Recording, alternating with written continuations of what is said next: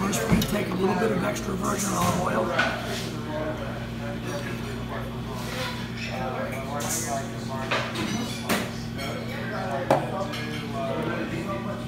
Parmesan cheese.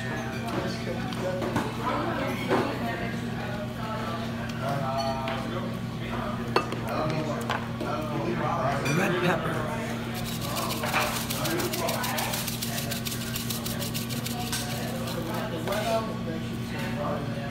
Fresh bread.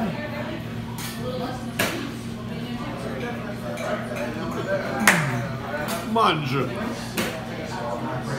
Mange.